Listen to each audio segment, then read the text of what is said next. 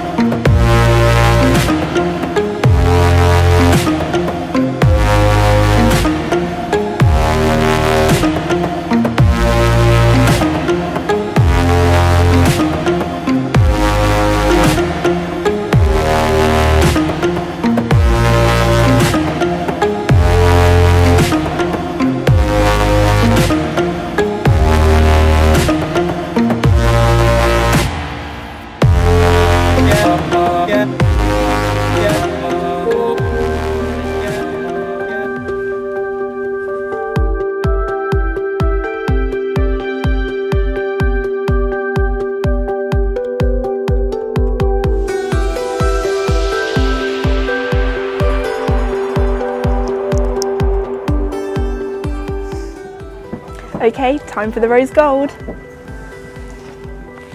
I actually love the colour of this one, it looks so cute. it's not a show without trying on some funky hats. What do you think? Oh my goodness guys, look how cute this is.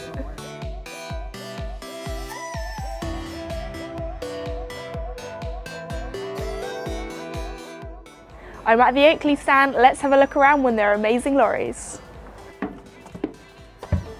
Wow.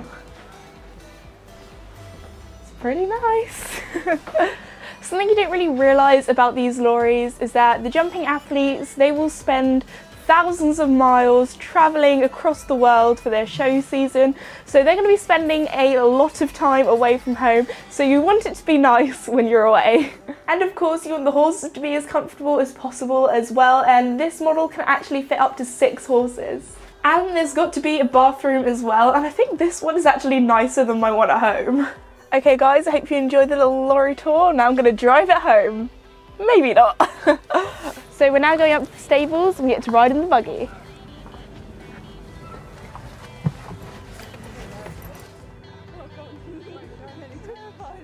No, no, yeah.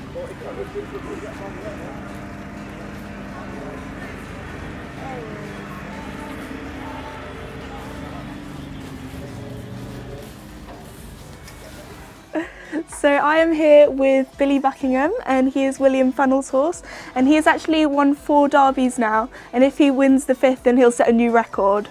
So wow, hello, it's nice to meet you. so I'm here with Bubbles, William Funnell's groom. So what is it like to be a groom for one of the world's top riders? Uh, it's great.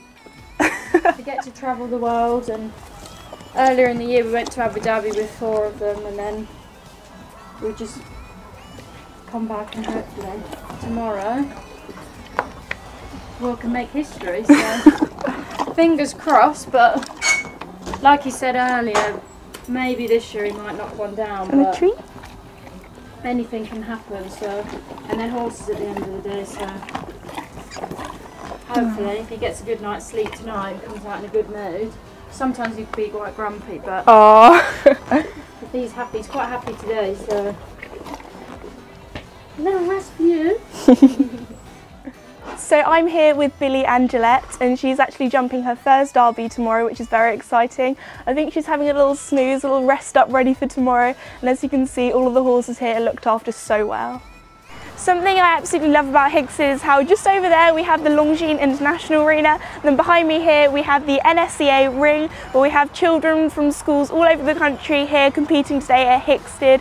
The jumps may only be small, only cross poles, but these are the riders of the future that are competing here today. So I'm here with Isabella and we've just found her pony and thought that he looked a little bit like Mickey, he reminds me of Mickey. Oh, you're so cute.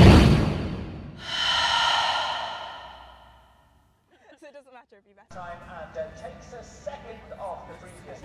everybody, I'm here with one of the world's top jumping athletes, Holly Smith. We're here today at Hickstead. So I've actually been to Hickstead so many times since I was really, really small. I was actually lucky enough to compete here a few years ago at a very low level. But there's something about Hickstead and the atmosphere which is just incredible. What does Hickstead mean to you? Um, I think you've hit the nail on the head, really. The atmosphere. Um, I don't think there's a showground in the world quite like it. Um, the tradition is just unbelievable. Everywhere you go, there's you know pictures. Of, it's just so iconic. yeah, I know exactly. It's a privilege to be a part of that. Um, and the obstacles that we get to jump that is so exciting. You've got the Derby Bank, the Devil's Dyke, the water jump here is just absolutely massive. It's a real great thrill to jump it. So I was lucky enough a few weeks ago to actually ride in the international arena and go up the bank on my little Connemara pony and it was so high up there and especially when you're on a horse as well. So how do you prepare for going down the bank? Because obviously we just went up it. So How did you get down? Uh, we went down the back so yeah we didn't go down the other way. That probably wouldn't have ended up well. I think first things first you need a very very brave horse yes. and I do know from when they're a very young horse whether I think that's the type of thing that they'll be game for. Yeah. Um, and just like my young horses, I try and do a lot with them when they're younger, just a bit of anything really, a bit of cross country schooling, hunting, a bit of eventing, all that type of thing. So they're horses that hopefully really trust me and if I ask them to do something, they accept it and just you know go along with it because they trust me. Yeah. Um, and I do have some small banks at home, and I start them off literally just going down ones, say this high. Yeah. Get the confidence we're getting the footing, and then we build it up to a taller bit, and then it's all about trying to get them to jump off it at the right point and get them to stay straight. Yeah. Um, and yeah, that's how I do it really. But they've got to be the right horse, yeah. otherwise it's just not going to happen. So I was actually here last year and watched you in the Derby and you rode absolutely incredibly. You were so close to winning. So obviously you've had a lot of successes this year as well. What have you been up to this season? Um, so I started my year off as I normally do at the Sunshine Tour in the Vejer de la Frontera, which is sort of just up from Malaga in Spain. So the weather's really good out there. Oh, and must it, really it, sunny. Yeah, well, last year it rained for the whole thing. It was oh, horrific. No. But this year we had a really good year. Um, it just enables us to get the horses out on the grass surfaces nice and early. It brings their coats through nice and early and it's just good for their well-being really. So I had a really good show there and won one of the four-star Grand Prix on Heart's Destiny. Um, then the horses had probably about six weeks, just quiet time really. There's nothing up with any of them as such and we were still working them, but it just enables them just to freshen up and get, because I have to do a hell of a lot of travelling for the shows that I do. Um, so just you know make sure they're really well and fresh. And then I have been on Nations Cup duty. Um, did La Baule and St Gallen Nations Cups with Heart's Destiny.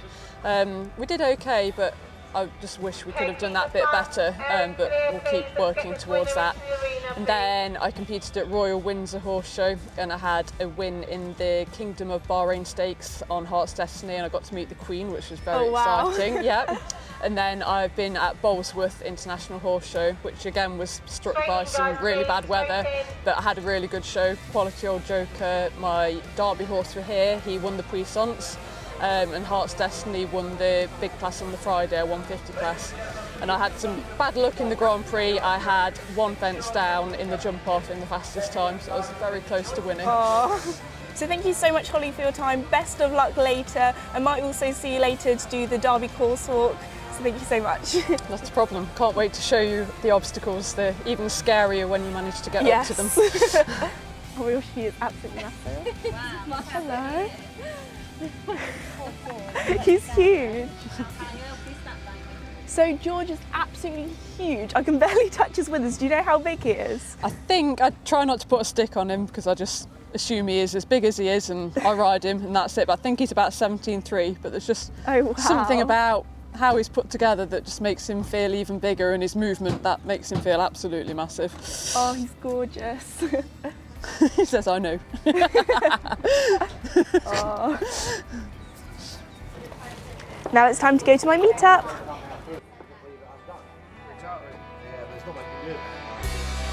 Who wants to see this Esme? Hi everybody, I just like to say thank you so much for coming, thank you so much for watching my videos, so let's start the meetup!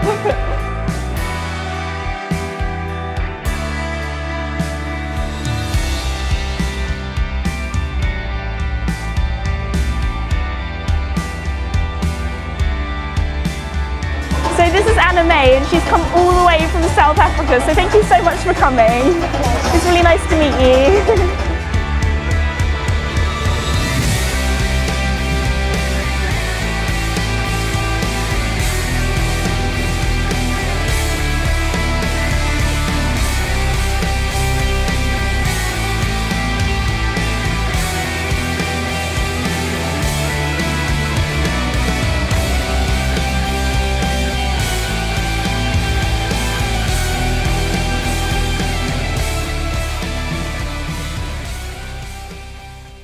Okay guys, so today is Sunday and Derby Day. I'm back here with Holly and we're going to be doing a little bit of a course walk. So first we're here at the bank. How do you tackle this? Um, first of all, it's very, very steep, so Yes. you have to make sure that the horse is slowed down enough and taking its time because over the years we've seen some uh, horses try and leap off the top and some of them stop dead at the top. So it's very important to get them slowed down, looking what they're doing, and then we can see straight afterwards we've got some white rails. Um, they're big rails, the, I think they're full at 160. Wow. Um, so it's important that they come off straight and because that affects the distance and that they it's ideally they have to jump off sort of a third of the way down to make Yep. sure that they land in the right place so it doesn't affect the striding to that fence. Um, and there is also a 1 metre 15 set of rails on the top of the bank and it is important to get that jumped as well because if you knock that down that also counts. Yep. So we can see actually this is a quite a massive set of rails Yes. with the added Ditch that we're standing in. of a really big ditch. So when you're watching it on TV, it actually looks like just a simple set of rails, but Yeah. this is a big ditch. Um, it's got to be a brave horse to. I mean, your takeoff points probably. Way back there. Yeah, exactly. So the horse has got to jump a long way out, and we can see afterwards. There's also another set of massive cream rails afterwards that you've got to get the horses back for. So you can't attack this with too much force. Um, but when you take off, it's a great feeling. Yes. so this fence here is almost as big as me as you can see. Yeah, it's a really, really big set of substantial rails, and to make things worse, we've got the water jump just before it, which is a Oh, great big long flat jump, which encourages the horse to jump flat and long. And then, and it's at the end of the course, so we've then got to gather them back and try and get them to respect these set of rails. It's a massive fence. It's an iconic Derby fence, and I'm sure we'll see them fall a lot today. Okay, so here we are at the Devil's Dyke. This fence comes really late on in the course um, after the bank. It's a bit of a heartbreaker, really, because you can think that you're going really well, and then you can get to here, and horses sometimes take a dislike to it. But most often, there's the first element, it's really tall. There's a slope afterwards, and the horses just look straight into this massive blue ditch, and it's on a decline here, incline there. Really, really hard fence to jump.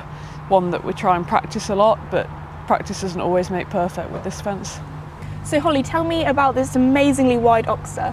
So this privet hedge fence, it comes on really early in the course. Um, massive set of white rails. They're tall and there's width to them. And a lot of these horses aren't actually used to jumping hedges all the time, so it comes as a bit of a shock to them early on in the course. Thank you so much for your time today, Holly. Obviously, that is coming up to the 60th anniversary of the Derby, and only 61 people have gone clear, and you're one of them. How does that feel to be not just competing against the people today, but the other people over the years that have competed the same course? It's an absolutely massive privilege to be part of that elite club, I suppose. um, it's just unfortunate that when I did jump clear that I didn't win, but hopefully I've got plenty more years ahead of me. I'll find plenty more Derby horses after this one, and maybe today's my day. Who knows? Well, best of luck for today. Thank you.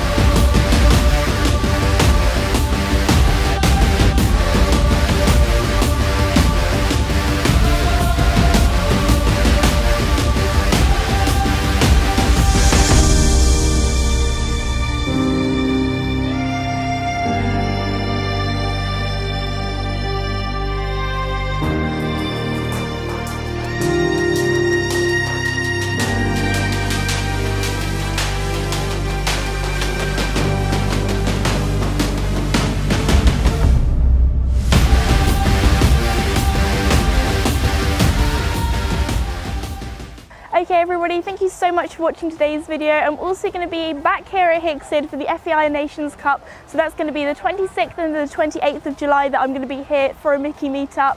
Also, I'd like to say a huge thank you to the Bunn family and to Hickstead for very kindly inviting me. I've had such an incredible time here.